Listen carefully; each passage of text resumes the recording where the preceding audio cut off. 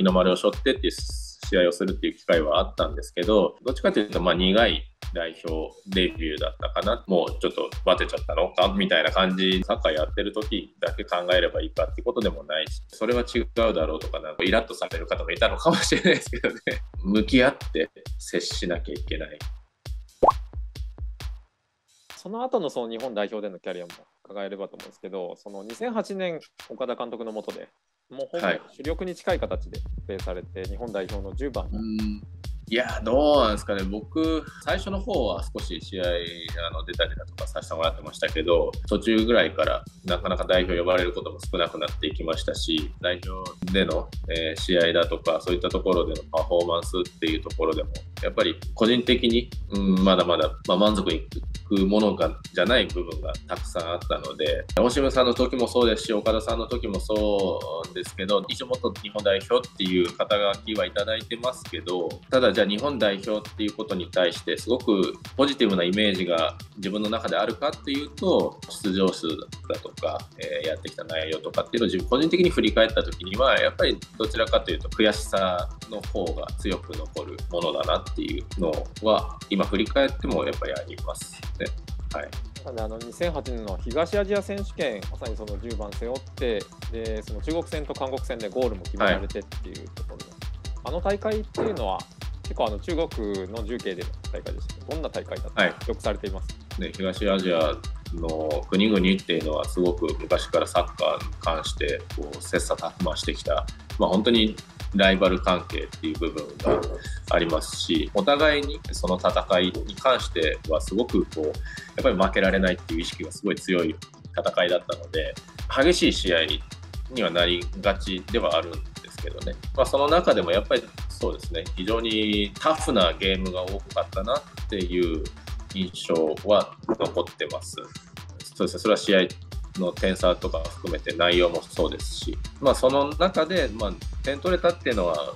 まあ、少し良かったなっていう点ではありますけど、ただチームとしてはあの時最終的に、ま優勝できなかったわけなので、やっぱり悔しさもあるし、アジア予選を突破するっていうことを考えたら、本当に直接的なライバルになるような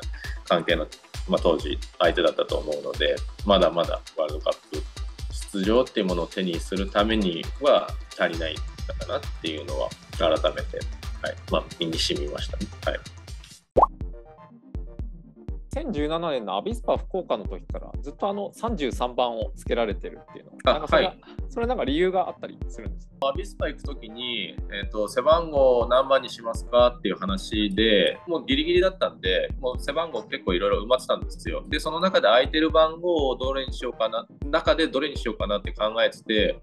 でなんかそのただ何でもいいっていうのも嫌だなと思ってどうせだったらその番号っていうもの自体になんか意味を持たせたいというかもしくはなんかちょっと縁起のいい番号っていうんですかね。なんか数字でも一応意味あるじゃないですかそれぞれ。だからそういうのにしたいなって思っててでそれでいろいろ調べてたら、まあ、33番っていうのがなんかその数字の意味だとかそういったもの的にもちょっと良さそうだぞっていうのであじゃあ33番にしますっていうのからですねあの別にその番号で何か嫌な出来事があったわけでもないのでそれをずっと続けてるっていう、はい、だけです。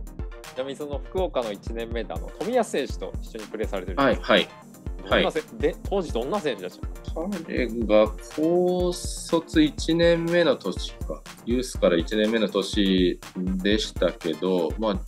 やっぱりまずは身体能力の高さっていうのは目に見えて、はい、分かりますよね、まあ、プレーを見てれば。で、その上で、まあ、決してうまい選手ではなかったんですけど、うまい選手じゃないんですけど、でも、その時々でやっぱり自分にできることっていうのをしっかり理解した上で何をじゃあすべきかっていうのにすごく取り組める脇目も振らずに、まあ、だから、まあ、見た目もそうですし、まあ、多分メディアとかの対応とか聞いててもそうだと思う分かると思うんですけどやっぱりすごく真面目は真面目です。本当に向かうべきものに対してぶれないというかそこに向かっててる途中でも決してじゃあ傲慢でとかぶれないんですけどじゃあ我が道だけかって言ったらそうでもないですやっぱり人からの意見だとかそういった取り入れるべきものがあるんであればどんどん取り入れてるだしと思います。まあ、もっと最近だと多分取り入れてると思いますし、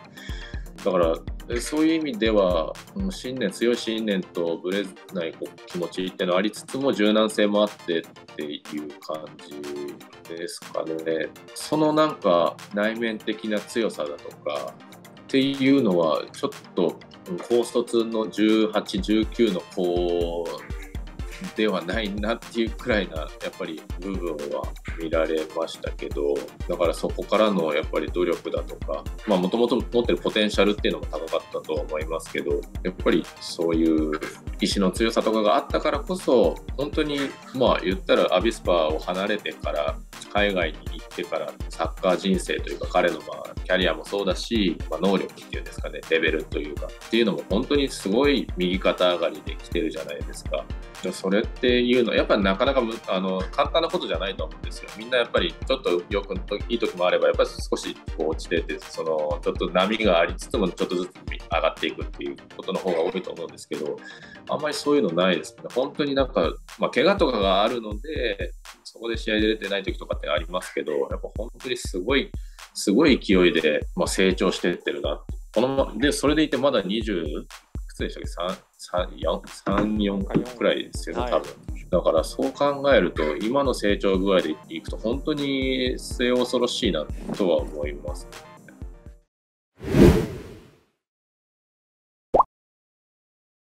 あの今月、ワールドカップカタール大会があの開催されますけど、はい、そこへの期待っていうのは山瀬選手、いかがでしょう？まあ、日本のサッカーのレベルっていうのは着実に、えー、進歩してるとは思うんですけど、ただ、その分、周りの他の国々も進歩はしてってると思いますし、あまりその偉そうなことを言える立場ではない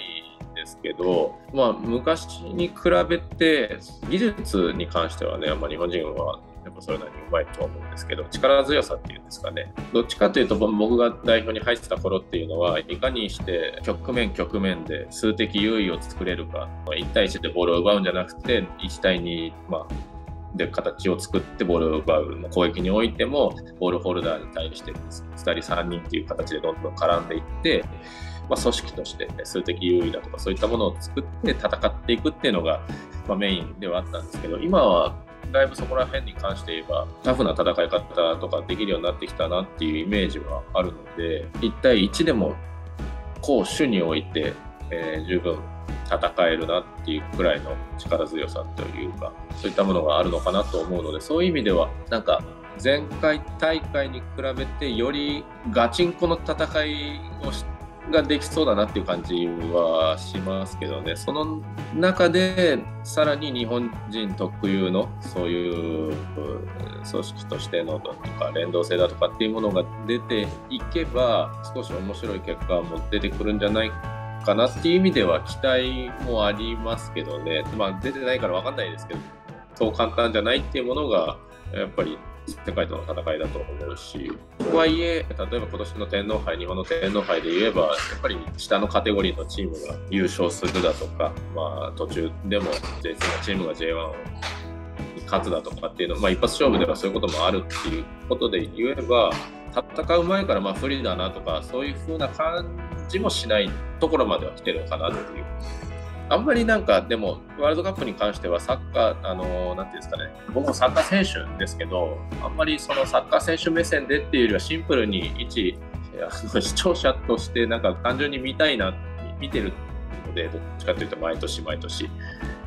あの子供の頃にワールドカップを見て、なんか楽しいな、面白いなって思ったような感覚で、あんまりなんかいろいろ考えずに、シンプルにパーってワールドカップっていうものを見たいなとまあ、その中であの代表が、えー、日本代表が少しでもいい結果を出して、まずは最高成績を超えてもらいたいなっていうところがあります。ベスト16を超えてっていうところを目指してもらいたいなっていう形ではあります。はい